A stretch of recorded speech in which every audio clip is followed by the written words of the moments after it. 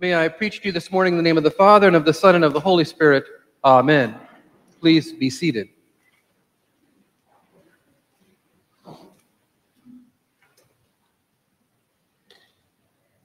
Grandparents are very observant people.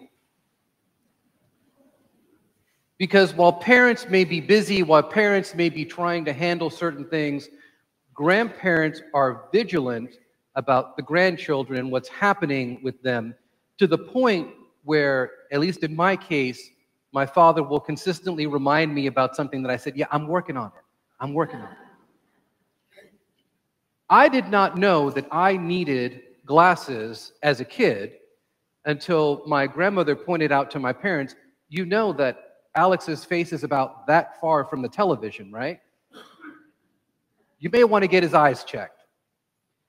And the thing about getting your first set of eyeglasses is that until you put them on, you really may not realize just how bad your vision was. And so in the second grade, when I got my first set of, of glasses, I put them on. And it was like putting on a pair of 3D glasses. Because I didn't just see things more clearly, it felt like I was looking at them with a third dimension, that things were just popping out at me. So not only could I see the board, but could actually see people better. There's a story about a young boy who, and I wish it was my story, but there's a story about a young boy who gets his first set of glasses. He turns to his mother and says, You're beautiful. You know.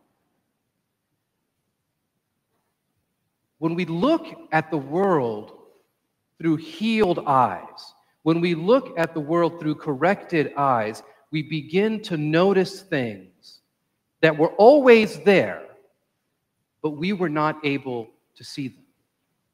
And so, as our parish this morning gathers to talk about mission and vision on this Mission Sunday, and it's so wonderful to see the two services combined, I can't think of a better story than the healing of blind Bartimaeus for us to use as kind of the basis of what we're talking about today.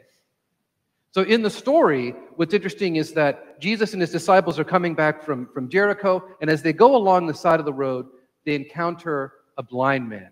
Now, this was completely normal because if you needed to beg from people, you went to where the people were traveling. It's the same today. And as the man couldn't see, he began to probably hear and feel those footsteps coming along the road. And he probably asked, Who is coming? It seems like a big crowd. Someone probably said, It's Jesus. Bartimaeus has heard of Jesus. Now, he doesn't know exactly who he is, but he's heard enough to say, Maybe this Jesus can heal me. I've heard that he's healed other people. Maybe this Jesus can heal me. And so, because he can't see Jesus, he begins to call out in the same way that you and I might call out if we're lost in the woods.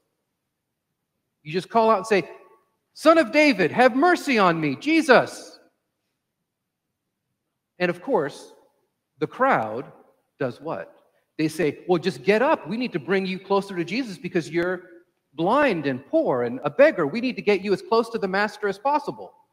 No, that's not what they do. And the disciples, even hearing it and walking by, they don't do it. In fact, they tell Bartimaeus to be quiet. And I'm sure they didn't do it very politely. But Bartimaeus is persistent. He doesn't let anybody tell him that he cannot call out to Jesus. And so he does it again. And Jesus hears this and stops what you might call the convoy and has him come over. And here's one of the best parts about Jesus' healing stories, and it occurs in several of them. He asks Bartimaeus, What do you want me to do for you? Now, I used to always think this was a silly question. Asking a blind man, What do you want me to do for you? But Jesus knows the heart of people. And that even if we're sick, even if we're hurt, even if we're broken, we may not ask for healing. We may be tempted to ask for something else. But Bartimaeus knows heal my vision.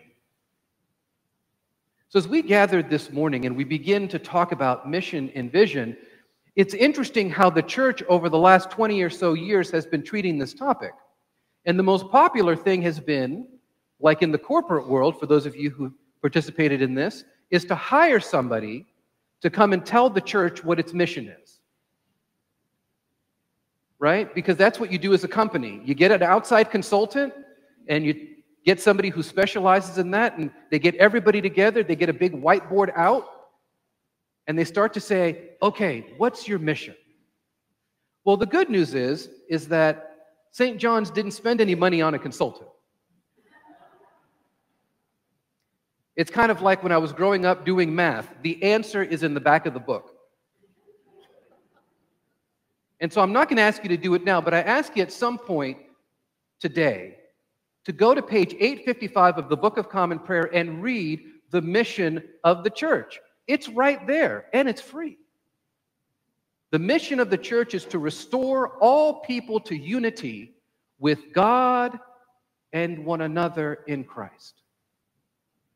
To restore unity. That means that you and I, as Christians, have the mission of being reconcilers with the world, reconcilers within the church and reconcilers outside of these walls. But before we go out and do that, there's something very important we need to bring. Our Jesus glasses.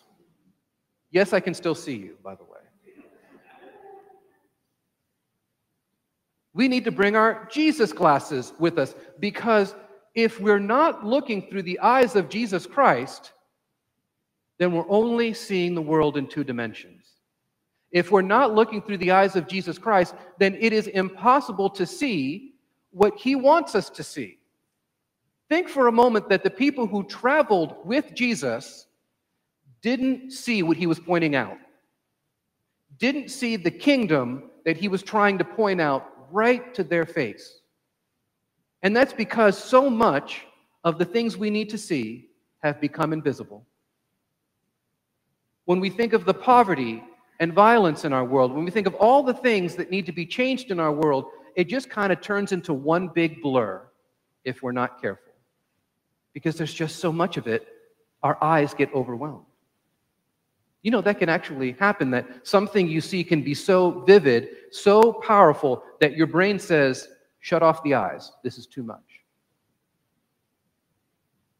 So we need to see through the eyes of Jesus. This last week, I was able to participate in a wonderful hurricane relief uh, outreach project right here in Wimauma. There was a priest, Father Jose Rodriguez, who he is from Central Florida, and he calls me up right after Hurricane Helene and says, Is there anything that we can do as your brothers and sisters in the Episcopal Church in Orlando who weren't really affected by the storm? What can we do to help you serve the people in your community. And for me, my head is still swimming about everything that was happening and about to happen with Milton. But he was very patient. He says, Don't worry, we'll provide everything. We'll bring the food, we'll bring the volunteers, we'll bring everything that's needed so that people can be served. And that's what he did. We went down to the Lord's Lighthouse on Thursday. And now, keep in mind, I've seen the pictures from the Lord's Lighthouse. I've seen the display that we have in our parish from the Lord's Lighthouse. And I've even seen their Facebook page. But I wasn't seeing the world in 3D. Because when I came there and saw the people who had lined up at 6 o'clock in the morning for food, for their daily bread, I was humbled. Because I realized that I had not seen them. And so now the challenge is can I keep these glasses that Christ has given me on so I can continue to see the people around me? And they're not just out there, they're right here. Can we see one another and see the challenges that each one of us is facing, the problems that we're facing, and see one another and say, I see you. I'm here for you. How can I help you? As we listen and pray about our mission here at St. John's, there's two things I want us to be mindful of.